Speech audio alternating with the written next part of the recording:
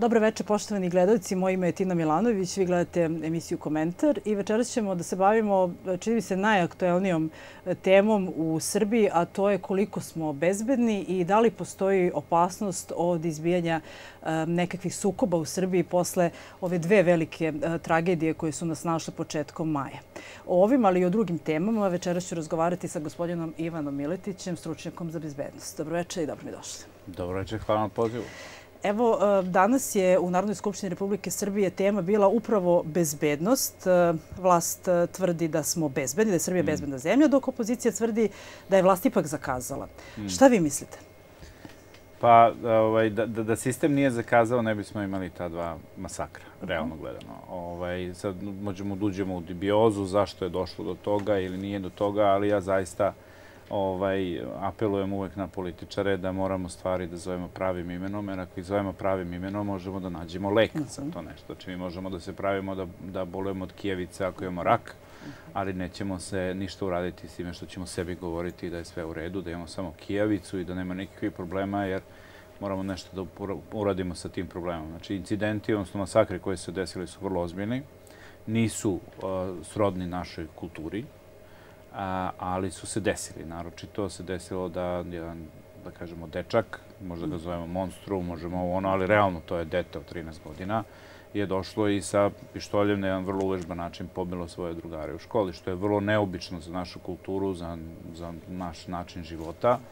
I ovaj, mi možemo sada da, da, da dajemo neke subjektivne a, a, obrazloženja zašto se to desilo, kao što su mnogi ljudi davali na kraju tokom te neke ekspertske analize se uspostavilo da ništa od toga nije tačno, da je problem mnogo ozbiljniji i zato ja uvek kažem treba pustiti policiju, službe da rade svoj posao.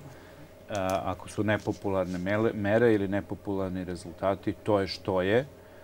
Moramo sebe da pogledamo u oči da bismo našli rešenje. Ono što treba da se uradi, ove mere koje su donete do sada, to su početne mere, tu ima gomila mera koja mora da se donese i ne sme samo da se stane na ovom nekom razoružanju i da onda budemo srećni i zadovoljni, jer nije to ono što je izazvalo da ovaj, nek 13-godišnjak uđe u osnovnu školu i pobije svoje drugare, nego su problemi malo drugačije prirode.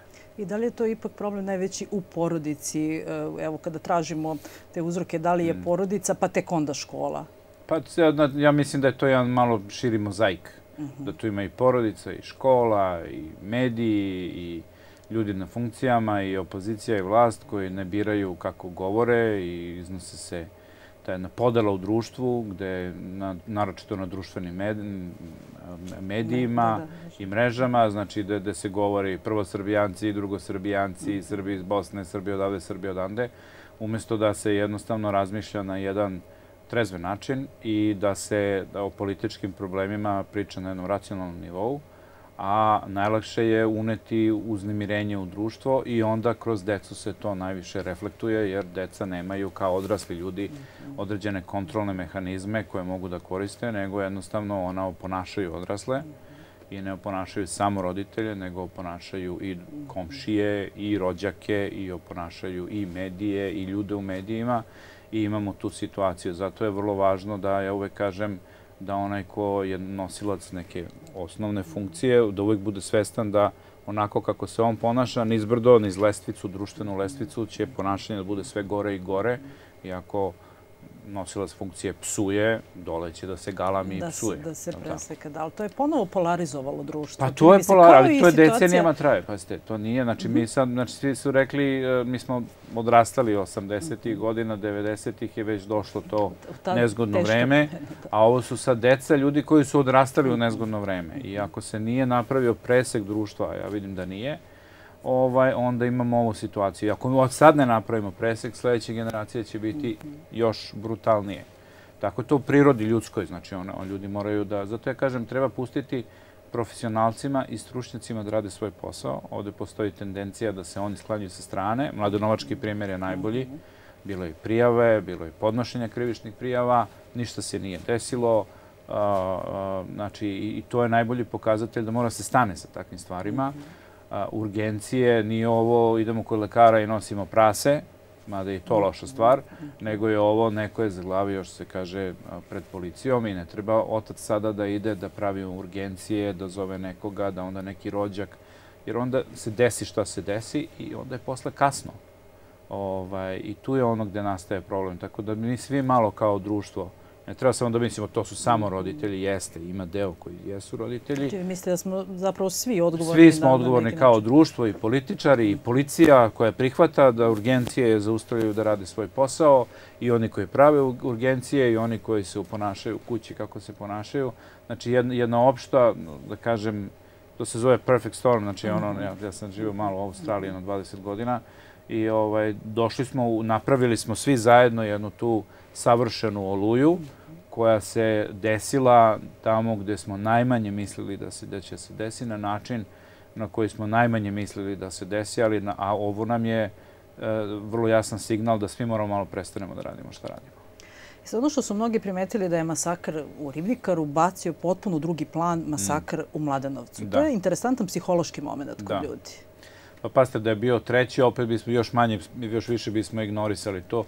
To ljudi imaju tendenciju da kada se desi veliki problem, nakon toga još jedan da oni iz, počnu da izbegavaju problem i, i tu zato ja kažem... Negiraju stvarnost, da. Negiraju stvarnost, jeste, i izbegavaju da pričaju o tome i oni imaju tendencija vrlo često, ajmo da, da, da se pravimo da se nije desilo, ajmo da nastavimo da radimo neke pozitivne stvari, e, to neće rešiti problem, jer će da kreira novi problem. I zato ja ovaj, malo sam bio ne, u nekim TV nastupima, da kažem, malo i frustriran, zato što sam, sam čovjek koji radi u sistemu bezbednosti i znam da ako se na neki rizik ne, obrat, ne obrati pažnja, on se multiplicira, što se kaže, i sledeći rizik je veći nego ovaj. Znači, zadnje što nam treba je da imamo a, ne, ne jedno 13-godišnjaka koji će uđi u školu i pobije drugare, nego da se dogovore tako u isto vreme, da imamo peše škola u isto vreme i onda. Jer to se dešava, pazite. Znači, za, zato kažem je vrlo važno da, da, da se pusti da profesionalci rade svoj posao, da mi stvarno znamo šta se to, mi ne znamo šta se desilo. Mi sad nagađamo, mi pričamo, mi čujemo, tabloidni mediji koriste priliku da sebe da prodaju kao, kao sebe i daju neke priče koje su dobre za, za slušanje političari izbjegavaju kao da se ništa nije desilo. Ajmo, vidjet ćemo, naprićemo anketni odbor. Pa ste, ovo je suviše veliki masakr da bi se to sad pravili anketni odbori i čekalo da se nešto desi. Jer mi ne znamo ovaj, za, zašto jedan i druga mlada osoba su očito kumulativno izgradili ovako nešto. Oni su nama promakli i ovaj, desile su se velike žrtve. I tu je sad vrlo važno da mi kao društvo napravimo tri koraka nazad. Nekada treba da stane voz i da kažemo čekajte, ispali su nam točkovi. Ja to tako vidim jer, jer se ovaj, desilo nešto i ako zaista mi ne reagujemo adekvatno na ovaj način, desit će nam se još gora situacija. E, to sam htjela da, da, da. vas pitam. Koliko smo mi trenutno u riziku od nekih ponovljenih takvih incidenata? nesreća. Jeste podignut nivo bezbednosti u Beogradu na viši nivo i to vidimo mm. svi, da policija ima više na ključnim nekim mestima. Ali koliko je to dovoljno i koliko smo u opasnosti i dalje? Pa nije dovoljno, to su samo prve mere, ja kažem. Ovo sve što je urađeno do sada, to su samo prve mere. Mi moramo da promenimo set zakona pod jedan. Set zakona koji ne samo regulišu neke kaznene mere, nego i mere, znači, mhm. krenulo se od tog oružja koje ljudi koriste, ali mi Nije, nisu, nisu ovo bili neki veliki ljubitelji oružja. Znači, ovo se radi o mladim ljudima čiji su roditelji imali oružje. Znači, znači, znači o, tu treba, zato kažem, treba raditi analizu prvenstveno oko toga psihološku analizu šta je izazvalo ovo da se desi, gde su napravljeni propusti u sistemu. Sistemski je važno da se to izdefiniše i da bi mogle da se nađe adekvatne mere za, za širu populaciju. I to je ono što je važno. Jer u svakom društvu gde postoji prvi put, ima i drugi put, i treći put, i četvrti put, i deseti, i dvadeseti put, ako se ne radi na tome da se to spreči. Ali ono što je važno, to su te preventivne mere koje su bitne, ne samo represivne mere, jer represivne mere same po sebi, one su momentalno da zaustave nešto, ali da se ne bi ovako nešto ponavljalo često ili slično, vrlo je važno I to podrazumeva i političku korektnost. Da, mnogi ljudi to ne vole, ali to je to. Tako se, recimo, ja sam živeo u Australiji, Australija je imala sličan incident i ovaj, nakon toga su donete te represivne mere vezane za zakon o municiji i oružju, to je okej. Ali su donete i druge mere u društvu, a to su mere koje podrazumevaju veću tolerantnost prema manjinama, prema manjinskim grupama, da mi ne trebamo da bijemo na ulici nekog samo zato što on želi da nosi neku zastavu duginih boja, da mi ne trebamo da bijemo ženu u kući samo zato što mislimo da je ona slabija, da mi ne trebamo da pustimo komšiju da bije ženu u kući, nego treba da zovemo policiju. Znači, promenjeno je puno toga u društvu jer smo i ta anglosaksonska društva nisu ništa razvijenija, nego su jednostavno imala određene incidente, donali odluke. Politička korektnost je nekada bitna zato što ne treba nosioci javnih funkcija da tako pričaju šta im se priča na način kako im se priča, da se prosipaju vodom, da se deru jedni na druge, da kada gostuju u TV emisijama ja primećujem tendenciju da ne navodim imena, nisu bitne imena, ja ponašanje volim više da pokažem da je loše, da ako, ako se ne slažem sa, sa svojim sagovornikom, ja ne trebam da se nadglašavam sa njih, da se derem, da galamim, jer ja, jer ja kao nosilac funkcije dajem primer ljudima koji gledaju to da oni se sada deru jedni na druge, da nadglašavaju, pobiju, gađaju flašom. Jer mi e, koji idemo u javni diskurs i, i u javnost i na televiziju, mi dajemo primjer drugim ljudima. Zato ja vrlo često, ja kažem mojim prijateljima, znate šta, ja kad bi zaista govorio ono šta mislim, mene niko ne bi pustio na televiziju, a možda i bi. Ali imam dovoljno odgovornosti da pazim kako pričam, šta pričam, na koji način pričam. O, I ako vidim da sam prešao liniju, da se izvinim javno baš u toku emisije, da kažem ja se izvinjavam, ali potresla me ova cela situacija i onda da napravim tri koraka nazad i to je isto okej. Okay bilo bi dobro kada bi mnogi sledili. Pa to ja pokušam, ja pokušavam da. da dajem taj primer i onda takvim ljudima da kad gostujem sa njima da mogu da im kažem. Ali ja to primetim, ja, ja, ja utičem, ja moram da priznam da, da vrlo često ti neki ljudi ovaj, nakon dva, tri gostovanja sa mnom nauče da ne treba, jer ja nisam tip koji se svađa galami. Imate i edukativno u ovoj funkciji, pa, trudim ne samo se, da nas da, Ali to svi trebaju da, da ja mislim da ljudi Slažem koji idu u medije. Evo, e, pretpostavljam ste vidjeli e, da je majka nastradale, jedne mm. od nastradalih devojčica se obratila roditeljima yes. ubice i pitala zašto ste vodili dete u streljanu. E sada, da. deca su od uvek išla i na taj mm. vid mislim, taj vid hobija su ovaj, upražnjavala. E, da li je to ipak do ličnosti?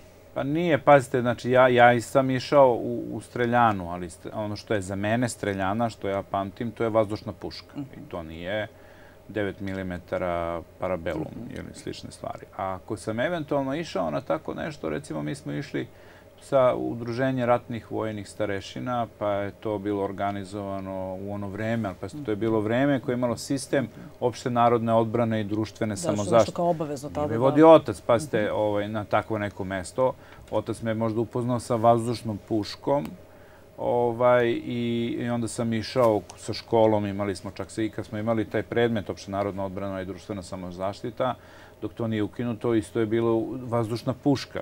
Znači nismo mi, ako smo, ako, slušao sam kada je bila, mi već nismo, već je ukinuto bilo, pa nismo imali predvojničku obuku, ali predvojnička obuka je podrazumevala u kasarni rad. Znači, u naše vreme sistem je bio napravljen da to može, i recimo ljudi ne znaju, ali pored one Jugoslovenske narodne armije koja je postojala, postojala nešto se zvalo teritorijalna odbrana.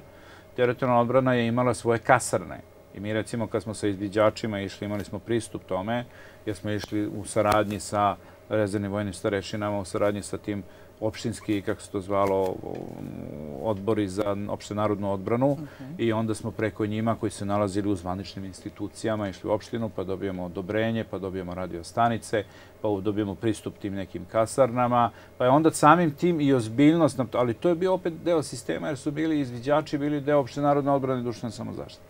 E onda kad je taj sistem ukinut, sad vidim da ljudi imaju tendenciju jer je ukinut i vojni rok, ljudi imaju tendenciju da se plaše sad, pa onda žure decu sa 13 godina da obučavaju da, da koriste vatreno oružje. Mm -hmm. Znači, vatreno da, oružje mi nismo imali pristup i ako jesmo, to je bilo kontrolisano a, na, na određeni način, na strelištu, ne u streljani, znači vojno strelište, samim tim a, sistem a, vojno strelište je drugačije od tih skučenih streljana sa onim slušalicama, to policija treba da radi, a ne deca. Ovaj, e, znači na jedan drugačiji način je sve to rađeno i možda i onda naučite da, da to oružje vatreno je ozbiljna stvar. Ja ga nikad nisam, e, ja, ja volim uniformu, ja volim vojsku, ja sam teo da budem oficir, ja sam, znači, mogu sebe da smatram militaristom, ali nisam žurio da koristim to oružje. Nego čak i u vojsci kada sam bio, sam bio dobar strelac, moji oficiri to znaju, ovaj, a nikad nisam žurio da, da, da ga koristim, znači nisam bio ono popaljeni tip, ala mi se puca, ovaj, i onda, i onda nije, nije bilo tih incidenata. Tako da ja nemam ništa protiv, ali to vojska je zadužena za automatsko oružje, policija je zadužena za vatreno oružje. Deca mogu da idu da nauče kako se puca iz vazdušne puške. To nije opasno, ovaj, i ako se zloupotrebi ne izaziva ovakvu vrstu masakra. Ovaj, i, I totalno je drugačija vrsta ovaj, oružja a ovaj, i ima taj sportski karakter i slične stvari. Na zapadu eventualno postoji ono pucanje na glinene golubove, to kod nas a, nije toliko razvijen sport. A, I opet je to u sportskim klubovima, postoji način kako se to radi. Ali vatreno oružje, ja, ja, ja i dalje ne mogu da razumem, ja vidim na društvenim mrežama da ljudi kače razne sa automatskim puškama, idu u te streljane i to je oružje koje ni naša vojska ni policija ne koriste. I meni nije jasno zašto je u Srbiji uopšte dozvoljeno da ta vrsta naoružanja može da, da civili mogu da pucaju bez veze. Mislim, ja to ne mogu da razumem, jer znam čemu služi oružje. Ja sam se bavio u Australiji u Ministarstvu odbrane javnim nabavkama za vojsko Australije, za oružane snage Australije. Ja znam šta je oružje. Oružje nije za decu i za, što bi klinci rekli, za zezanje. A, oružje je ozbiljna stvar i pristup oružju, kome, ko želi da ima pristup oružju, ima, ima dobrovoljno služenje vojnog roka, može da se prijavi. E, mislim da je stalno otvoren, e, kako se zove, konkurs za rezervu pri Ministarstvu odbrane, mogu da se prijave u rezervni sastav Vojske Srbije i da, da na jedan koristan način nauče ljudi kako se koristi na oružanje. A da se deca vode, to zaista ja ne mogu da shvatim na taj način. One airsoft je isto neki ljudi ga zovu sportom, to je uvežbavanje paravojnih formacija. Stvari treba zvati pravim imenom, to nije sport. I ovaj, taj airsoft isto, ne znam zašto deca idu na takve stvari, to nije obući nekoga uniformu i uvežbavati ga taktičkim radnjama, to zaista nije za decu. E sad, poziv države da građani predaju oružje izazvoje oko dosta panike na društvenim mrežama. Mm -hmm. Šta ćemo sada da radimo? Bili su koment, neki od komentara. Dobro. Ukoliko dođe na nekih incidenata, mi ne možemo da se branimo. Uh, sad, šta vi mislite o toj akciji u ovom trenutku? Pa, pazite, znate šta je tu problem sa to što ste rekli? Problem je što mi, što mi pripadamo grupi zemalja koje, to su, nisu, da kad neću kažem, nisu razvijene zemlje. U, u zemljama koje nisu razvijene zemlje ili zemlje u razvoju, kako se zove, postoji tendencija da populacija ne veruje državnoj administraciji.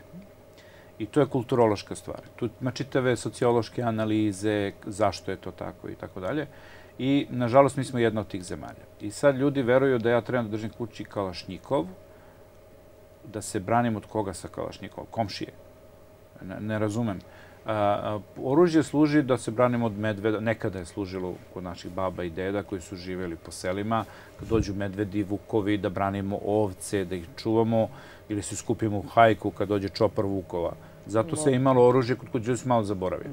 A, kada je došlo do rata, podeljeno je narodu oružje. Nekima je podeljeno kroz sistem koji je radila Savezna služba 1991. godine i Savezna policija delila seljacima tamo po Bosni, po Hrvatskoj i šta ja znam. Ti ljudi su na traktorima došli ovde, donali sa sobom veliku količinu oružja koje nikad nije vraćeno. Pod jedan. Pod dva, neki su otišli kao rezervisti, neki su bili dezerteri, neki su ovo, neki su ono. Nisu se razdužili. Veliki broj građana Srbije nakon ratova 90-ih se nije razdužio ili je pokupio kao trofej pa je razdužio svoju pušku, a kući odno još dva kalašnjikova. Kalašnjikov i vatreno automatsko oružje nije nešto što mi sa pravom trebamo i možemo da imamo, jer to oružje je namenjeno isključivo za vojsku i policiju. I ako to imamo kod kuće, mi to trebamo da vratimo i sad je dobra prilika da se to vrati. Ako smo kupili ilegalno tako neko oružje, isto, znači kupili smo ga ilegalno, jer legalno ne može civil da kupi takvu vrstu oružja, znači mi nemamo prodavnice gde mogu da odem da kupim kalašnikov ili M70, kako se to zvalo, ili M70 sa preklopnim kuldakom i tako dalje. Svi koji su služili vojsku znaju kako to ide. Mi koji smo bili u vojsci, to oružje je bilo zaključano, iako smo mi bili vojnici, požarni je imao ključ, samo po naređenju komandanta, kapetana, komandanta Čete, požarni imao pravo da odključa to oružje, da se ono uzme, da se onda podeli municija na organizovan način da se krene u rat. To je oni koji su bili u ratu. Sve ostalo, ako je ostalo, to nije, prvo to je državno, nije naše i država ga je izdelila jer je tada bila raspad sistema, raspala nam se država i ljudi su, ako su zaboravili da vrate, sada imaju priliku da vrate. Ako je neko kupio nešto na legalan način, on verovatno ima dozvolu i proces će biti takav kakav će biti nakon ovih mera koje su donete, zato što jednostavno je tako kakva je situacija. Lovci su sasvim druga priča, oni isto ne idemo kalašnjikovom lov, medvice ne lovi sa automatskom puškom, pa ni sa polu, ni sa papovkom, ima one papovke koje se više ne koriste sa bajonetom, to nije za lov, to je za ubijanje ljudi. Vojska ima oružje za ubijanje ljudi. Svako kuće ima oružje za ubijanje ljudi, a to je automatska, poloautomatska puška, mitraljez, puška, mitraljez, on treba sada da ga vrati, ako je ostalo njemu od rata, Ćaletu od rata, Ujaku od rata, došao neko pa podelio, ja znam, država jeste delila na vrlo neorganizovan način, ja sam bio svedok tome, to ljudi trebaju da vrate. Više im ne treba. To ću posebno da, da, da vas pitam ovaj, u vezi sa vojskom. Samo još jedno pitanje u vezi sa ovim incidentom, u, zapravo masakrom u Mladenovcu. Vi svredite da je ubica iz Mladenovca, dakle, inspirisan terorističkom mrežom alternativne desnice. Mi e, malo znamo o tome, mhm. pa evo da nam samo ako možete objasniti ukratko e, sa čime mi to imamo posle ili sa kime. Pa to je, to je ozbiljna stvar. Ja zato sam rekao da, da treba zaista pustiti službu da radi svoj posao. Jer ja sam imao priliku u životu da sretnem te mlade ljude koji rade u agenciji. Znam da su dobri profesionalci, da znaju sve i vrlo često im se ne da da rade njihov posao. A, ta alternativna desnica je pokret koji je nastao negde 2007. 2008. godine. Njihov način organizovanja je zanimljiv, to je isključivo online. Znači, kad su se pojavile društvene mreže, tad su se i oni pojavili. Znači, Facebook, najčešće YouTube, Instagram – i e, njihovi pripadnici su poznati po tome da su činili e, masovne, ove, masovne pucačine, što bi se rekao, pucačke incidente, odnosno masakre, u Americi ili u drugim zemljama. Jedan od njih je i onaj Norvežanin Breivik. Ono što je problem sa, sa, sa, sa mnogim incidentima, jedan od njih je iz Novog Zelanda, na primjer, koji je isto obio, pobio neke muslimane od Šuđamiju. Problem, problem sa svi tim a, ljudima je da oni ne, iz nekog razloga svi imaju srpsku komponentu. Znači, Breivik je u svom političkom testamentu ovaj, veličao bitku na Kosovu, srpsku borbu protiv ne znam čega, novosvetskog poredka.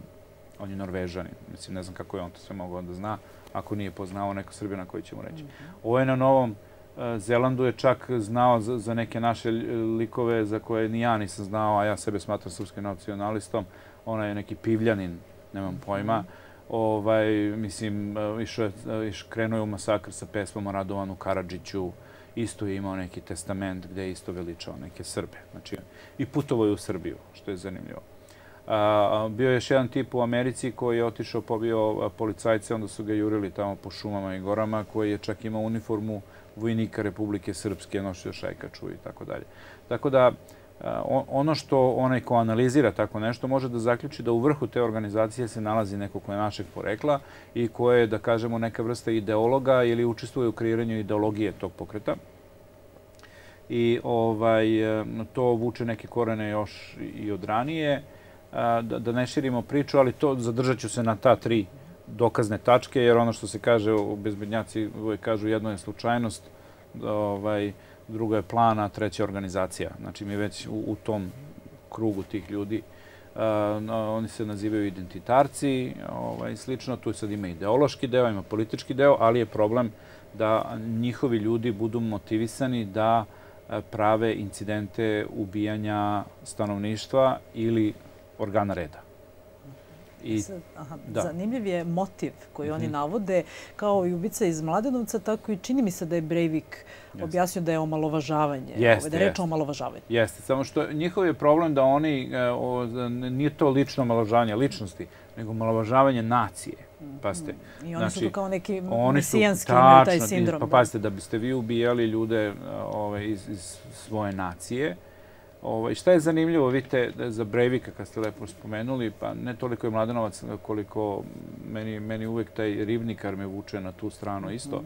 Znači, uvek je ubijanje dece neke elite, što je zanimljivo. Znači, ovaj Breivik je otišao na ono ostrovo i pobio decu, da kažemo, levičarske elite. Jel da? Ovaj je ovde ovaj, je pobio drugare iz te neke elitne škole, gde ovaj, su ljudi za koje se smatrati da su nosioci te nekog progresa u našem društvu.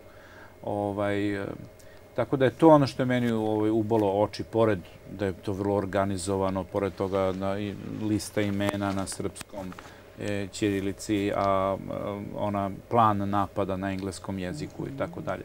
Tako da tu ima dosta elemenata da oni e, ne mora da se bude paranoik, nego oni koji se razumeju u takve neke stvari da mogu da zaključe. E, ono, ono što, što mi malo zaboravimo je da u svakom društvu postoji ta, ono što u službama se zvanično zove ovaj, nasilni ekstremizam.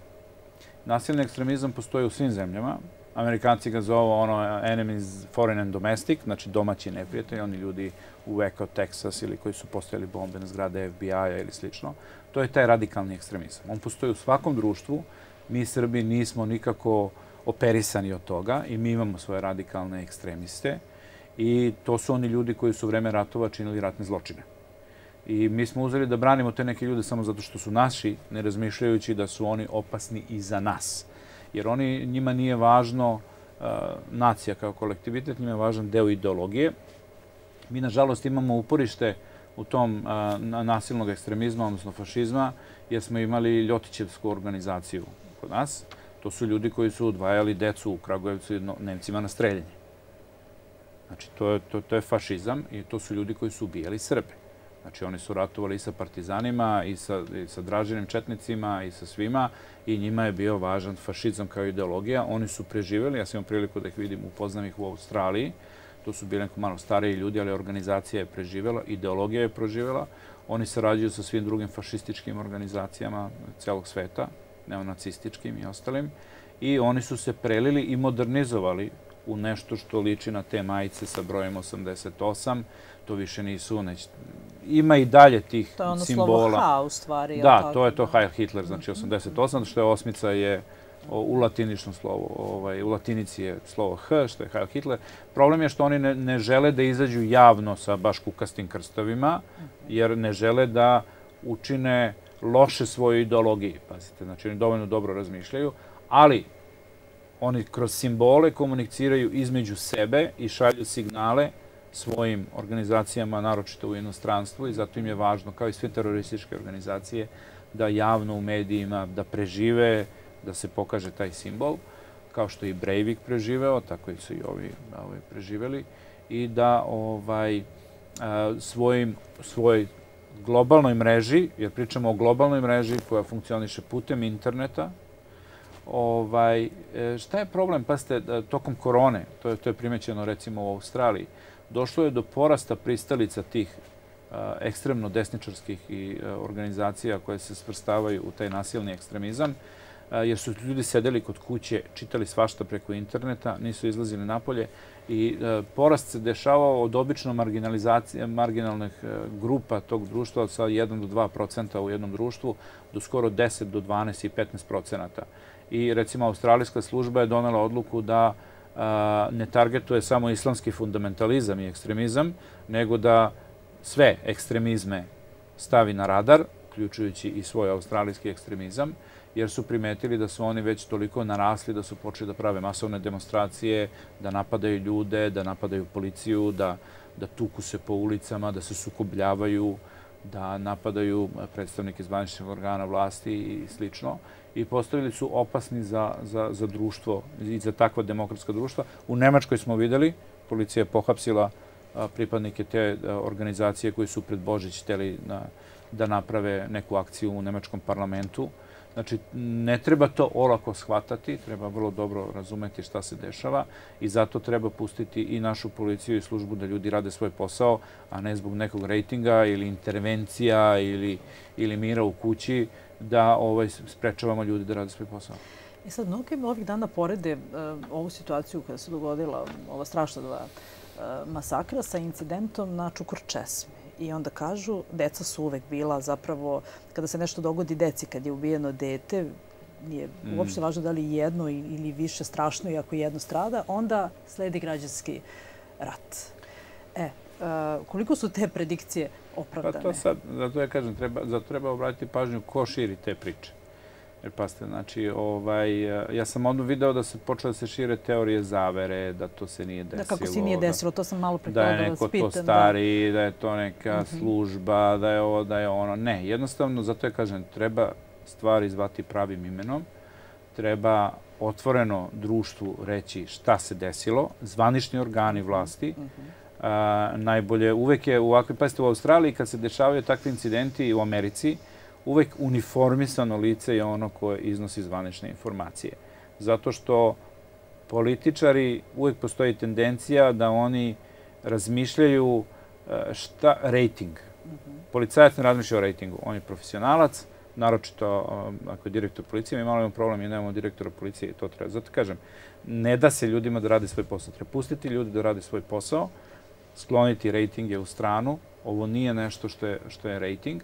I zato, pazite, zato što se ne radi tako, onda to frustrira ljude. Nisam samo ja onaj ko vidi ovo, vidite to veliki broj građana. I onda građani se demonstrativno izlaze na ulice, jer vide da se nešto dešava, informacije koje dobijaju nisu, nisu jasno koncizne, beži se od odgovornosti, beži se od svega što, što, što donosi negativan rating i onda kreira novu spiralu i onda imamo skupljanje ljudi na ulicama što je veće nego u vreme Slobodana Miloševića. Ja sam bio na skupovima u vreme Slobodana Miloševića, bio sam i sada, ne popularišem da se ide na ulice, ali iz, da kažemo, pošto znam da će ljudi u medijima, kao što mi se desilo na Tanjugu, da me pitaju, Ivane, šta misliš koji je bio broj, ne verujem, ja više volim da odem i da proverim. Otišao sam u sred mase i video je rekao, ovo se nikad nije dešavalo i zato ovaj, ja ne želim da sakrivam stvari, ali smatram da i političari treba malo mnogo ozbiljnije ovo da prihvate nego takmičenje sa velikom grupom građana. I sad, ključa pitanje, da li nam je više nego ikada potrebno vraćanje obaveznog služenja vojnog roka, o, da. koje je ukinuto 2011. godine. Dosta se tome polemiše u javnosti, podeljena su mišljenja. Mm. Šta vi mislite? Pa ja mislim da, da ovaj, je prvo svetske okolnosti su se promenile pod jedan. Mm -hmm. Pod dva, ulazimo u sferu da mi ne znamo ovaj sukob u Ukrajini u kom pravcu ide.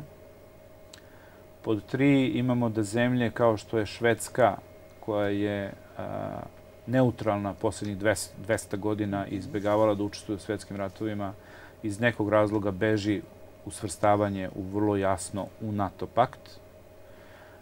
Što nam, ta tri samo primjera nam govore da ulazimo u vreme svetskih zbivanja koje su neobična. Mi možemo da se pravimo da se to ne dešava, mi možemo da se žalimo da smo patuljci koji ne žele da učestvuju u nečemu. Mi možemo, puno toga možemo, ali to ne znači da je to dobro za nas. Videli smo gde nas je odvelo kada 1990. godine mi nismo želeli da prihvatimo da komunizma više nema, nego smo pokušavali da se nadamo da će komunizam da opstane, to nas je tu teško koštalo. Izgubili smo državu, izgubili smo naciju, izgubili smo identitet i dan danas ne znamo gde su nam granice. Moramo da prestanemo da se pravimo da se nešto u svetu ne dešava i da, da pogledamo šta se dešava, da razumemo svoje mesto u svetu i da na osnovu toga donosimo odluke. Jedna od tih odluka je vraćanje uvođenja vojnog roka. Zašto je to važno? Prvo je, prvo je važno, to će biti ta granica, odnosno da kažemo, ne, više ne može ovako kao do sada što je bilo. Jedna vaša koleginica sa jedne druge televizije je rekla da ne sme da bude od sutra ništa isto kao što je bilo do danas i ja se slažem.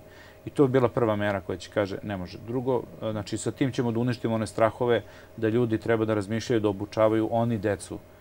Posao oca nije da pravi vojnika, posao oca da bude primer, moralni primer svoje deci a ne da pravi vojnike. Vojnike pravi država. I mi onda moramo kažem, ljudi, nemoj se vi plašite, niko neće nas napadne, ako će nas napadne, idemo sad, obučavamo se i to je to.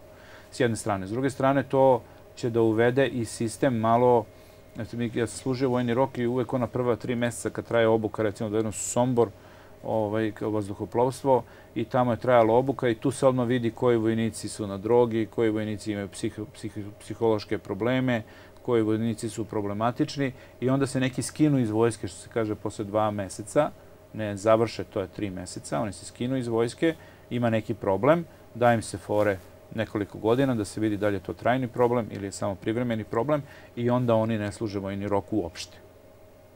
Oslobođeni su služenja vojnog roka.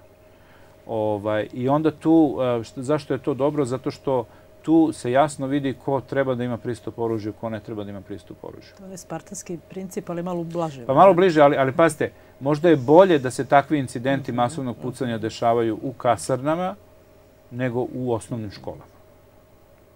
Jer mi smo imali te masovna pucanja u Paraćinu i bilo je u moje vreme, u, u, mislim da je još u Mladonovcu kasarna bila, ako se ne varam. Da. Ovaj, e, i, onda, I onda se uvelo drugačije pravilo kako se koristi municija. Uh, ustanovilo su da postoje neke određene sekte koje su funkcionisale u nekim manjinskim etničkim grupama, pa onda te manjinske etničke grupe nisu imale pravo pristupa, nisu išli na stražu, nisu mogli da pristupe municiji, radili su druge dužnosti, na primjer. I tako da je. Znači, vojska ima sistem kako to kontroliše i ti ljudi se, što se kaže, pokupe se u sistemu, svi muškarci kada idu, jer, jer taj rizični deo ovaj, pucača što se dešava, se dešava na tom nivou. I onda sad treba vidjeti ako je vojni rok obavezan za muškarce, da li treba za žene, da li, koji nam model treba? Izraelski, norveški, danski, nije bitno. Francuska je uvela model drugačije prirode bez vraćanja vojnog roka, ali su uveli obavezno služenje, kako se zove, nacionalne službe, gde mladi ljudi dobijaju uniforme, spavaju u kasarnama, ali se ne obučavaju za vojnike. Ima i taj model, razumete. Ali sad je pitanje šta mi želimo. Tako da, da obavezno služenje vojnog roka, ja mislim da je više pitanje koliko dugo će da traje. Mislim da je za vojsku vrlo jasno da njoj ne treba da obučava ljude da znaju da pucaju, pa da bude tri meseca, nego treba da uvežbaju jedinicu. Da bi vojska uvežbala i vojnika i jedinicu, mora bude šest meseci.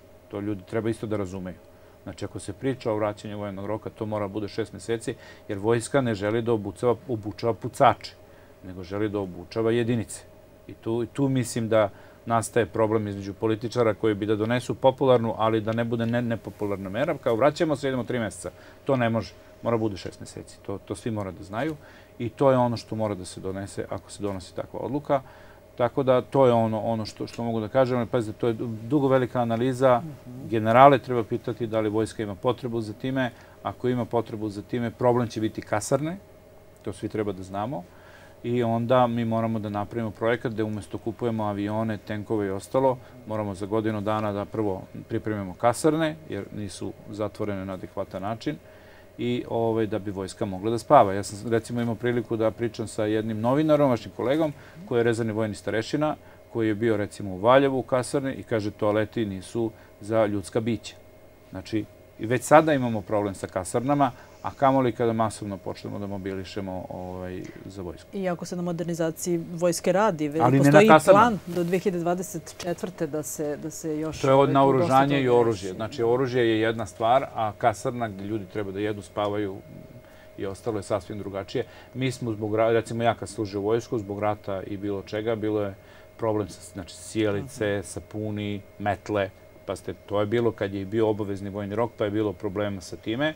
I onda je general Perešić napravio dil sa Miloševićem, tipa nemoj ti da se brineš o finansiranju, pusti nas da mi to rešimo. Oni su to rešili na svetskom tržištu i mi smo posle imali i povećanje plate, one vojničke koja je bila smešna, nema veze, ali više nije bilo problema sa tim osnovnim stvarima, ali jeste zaista, znači vojska košta, i, ali manje košta nego haos i anarhija u društvu. Ja, mi smo pre emisije pričali kako, kako prodrmati današnje muškarce i vratiti ih ovaj, vojsci, zapravo probuditi im ljubav prema, mm. prema otačbini. Koliko će to biti teško raditi na tome? To je u stvari potrebno, čini mi se, jačanje tradicionalizma nasuprot feminizmu koji je negde i doveo, čini mi se, do, do svega. Da, da, ima ta ovaj. tendencija. To sad, vi, vi ste to rekli kao, kao, kao žensko, da kažem, ne bude sad kao ima nešto ovde, hoće da postrojava ljude. Ali jeste, ima ta tendencija, ali to je zato što smo ušli u, u, u tu neku sferu novog društva, društvo na trotinetima, ajde da ih tako nazovemo, umjesto ono, nekad su bili momci na motorima, pa u kolima, jel da? Druga, novo vreme nosi svoje breme, ovaj, jeste to, ali malo i kad, kad se ljudi kaže, kad, kad znate da, da sin neće da vam ide u vojsku, pa ne morate mnogo da se sekirate, jer znate da, ovako znate, pa ste ja, svi smo mi u moje vreme znali da ćeš godinu dana da budeš negde, pa si ti sam na sebi radio, da kažem, nekako da se malo i psihički pripremiš za tu vojsku, a i fizički, Ove, a i roditelji isto su znali, pa ne mogu sad da pravim njega tutnjevog, kad bude otišao tamo u, u vojsku godinu dana, gotov je, izradit će ga ili ne znam, lipsaće pod onom opremom ili šta ja znam, pa onda mora malo bre, to što bi rekao moj kapetan Terek, vojnički je to malo. Ovaj, o, ima svega toga, ali to je, to je kada u jednom društvu to funkcioniše i zato je vrlo važno da, da mi kao društvo izdefinišemo sebe Jer momentalno, šta mi imamo problem? Mi imamo problem da zbog toga što jurimo BDP i ostale stvari i PDV na tri meseca, ni državna administracija ne razmišlja duže od tri meseca. I vrlo redko ja mogu da čujem nekog političara u vlasti ili opoziciji koji kaže naš plan je da Srbija 2050. godine bude neutralna ili član NATO pakta, da bude razvijena, da bude član Evropske unije. Da, I onda kad kažem mi to hoćemo, onda zna se šta mora da uradimo. Ovako, pa idemo pa pregovaramo, pa razgovaramo, pa dogovaramo, pa ćemo da vidimo, pa idemo na sastanak, pa se vratimo sa sastanka, pa nešto kažemo, pa jurimo kamere, pa jurimo rating, pa gledamo da li smo danas popularniji nego juče ili preključe. I onda se uđe u to da ni građani onda ne znaju šta mi ovde radimo. Šta, dobro, uzet ćemo kredit za kuću, kredit za kola, to, to znamo dobro. I, i a šta dalje radimo? Zašto spremamo našu decu? Ili spremamo za vojnike ili spremamo za, da idu u dijasporu? Ja to treba da bude? Zato kažem, vrlo je teško i roditeljima, sad kao svi krivimo roditelje, a niko im ne kaže, izvinite, vaša deca za 25 godina će da žive u ovakvoj zemlji. To niko ne zna. Evo i za, za kraj, pošto moram da privedim emisiju kraju, a bilo je još tema o kojima bih volila da razgovaram sa vama, ali evo i ono što je isto jako bitno u vezi sa Kosovom, za kraj ću da vas pitam mm. koliko je dugačak ili kratak put od ove albanske zastave u Zvečanu do nekog novog pogroma? Pazite, opet se vraćamo na ono šta, šta, šta mi u stvari radimo s Kosovom. Znači, 1, 2, 4, 4, dobro. Kada je to bilo? Pre 23 godine. Gde je bio NATO pakt pre 23 godine? Gde su bile granice Europske unije pre 23 godine? Um, šta, na šta ličila Kina pre 23 godine? Na šta, znači, mi možemo da zamrznemo sebe u nekom vremenu i da kažemo to je naše vreme. Ja vidim starije ljude, ovo je, kako dođem iz dijaspore, pa dođem po mojim roditeljima, vidim da su oni zamrznuti u nekom vremenu. I to je okej, okay. mi možemo sada da budemo zamrznuti i ostatak sveta će da nas pretekne. I mi ćemo onda da se žalimo kako su nas svi pogazili. I, i, i tu mi moramo da razumemo šta, a šta mi hoćemo s tim Kosovom u stvari. Jer mi hoćemo da to bude 1, 2, 4, 4, da to bude samo ta preambula u, u Ustavu i da se pravimo da je to deo Srbije, a da dole nemamo ni poštare, ni šumare, ni, nemam pojma, bilo koga ko, ko je nešto vezan za Srbiju, ili ćemo da kažemo ne, mi hoćemo da Kosovo bude. Neko je uzeo, recimo, Krez Mihajlo je bio interesantan, on je otišao i rekao Garašaninu, kojim je bio ministar unutrašnjih poslova, rekao, napravi neki plan za narednih 100 godina. I Garašanin je napisao, napisao to neko načrtanije, koje je napisano čak i na jeziku koji mi sad ne govorimo, što je vrlo zanimljivo. Toko davno je napisano da je to pisano onim prevukovim srpskim jezikom, sa onim debelim jeri i, i tako dalje, tako bliže da, da, da, da ne dajem, nemamo vremena, ali neko je to uradio. Ko je to od naših političara u zadnjih, ne znam, 40 godina uradio? I rekao, šta, hoće, šta mi hoćemo od Srbije? Pa da država kaže, mi hoćemo od Srbije to i to, Pa onda da odemo kod Amerikanaca i kaže, vidite, a kako vi vidite Srbiju? Oni nam kažu, mi vidimo Srbiju ovako, mi uporadimo se, ok, može se poklapa ili se ne poklapa. Pa onda odemo negde drugde, tu u Brisel, kažemo, a kako vi vidite Srbiju? Znači, to niko kod nas ne radi. I to je glavni problem. Sve zemlje to rade. Znači, Australiju, vi odete u administraciju i kažete koji je vaš nacionalni plan, Australija će da vam kaže, mi vidimo Australiju 2050. godine sa 35 miliona stanovnika i zemlja koja je razvijena na ovakav ovakav način i kandidovat ćemo se za te i te olimpijske igre. Vrlo prosto, jednostavno. I onda se oko toga napravi cera jedna strategija društva, svako ministarstvo zna šta da radi i to funkcioniše i to radi. Vi sad odete, pitate nekog našeg političara, on će možda da vam kaže, pa ne znam, planiram izbore u septembru. Kao, do, I posle toga, pa kao vidjet ćemo kako prođemo na izborima. Jer ako je to nacionalni plan, onda je to okej. Ako to, ali ja bih volao da vidim na nekom dokumentu da mi neki političar kaže Ivane, ja sam, ne znam, premijer ili predsednik ili predsednik kućnog saveta i ja vidim do 2025. kako će ovo dvorište naše da izgleda. Ali, još nisam video. Strah od nekakvog etničkog čišćenja, protirivanja Srba. Pa to tako bude kad neko nema plan, drugi imaju plan. Samo zato što mi, mi nemamo plan, ne znači dakle, poruka je da treba znati... Treba da napravimo da plan, šta... treba, jer ako napravimo plan, znaćemo i da li nam treba vojni rok uh -huh. i da li nam neko planira, ćemo pitamo službe. Mi, mi, pazite, mi momentalno nemamo službu koja to može da zna, to što vi kažete. Zato što mi smo ugasili službu za spoljne poslove, a, a BIA nema pristup dole ili mučenici jadni snalaze se uz pomoć štapa i kanapa zašto dole NATO pakt. Tako da mi moramo da, da, da, da pojačamo državne kapacitete, da bismo znali to, taj odgovor. Mi možemo pitamo Ivana analitičara šta on misli, ili možemo da angažujemo celo odeljenje jedne službe i da kažemo, izvinite, za, za tri dana hoću da znam tačno šta se planira. Oni izađu sa sedam scenarija, dođu kod predsednika i kaže to je to i onda svaki taj scenario podrazumeva određenu reakciju države i onda znam. Znači, mi malo smo pobegli od toga, nekada smo imali državu koja se time bavila, pobegli smo od toga, sveli smo se na to da, da, da, da, da zaista uh, upravo ta pitanja koja vi pitate su vrlo jasna pitanja, ali bojim se da, da, da mi nemamo odgovor na ta Još pitanja. Uvijek, da. E, hvala puno što ste bili moj gost, što ste pričali sa mnom na ove izuzetno važne teme koje se tiču svih nas. Nastavit ćemo u nekoj narednih emisija. Hvala vam. Poštovani gledalci, hvala što ste bili sa mnom večeras. Prijetno večer. Bye.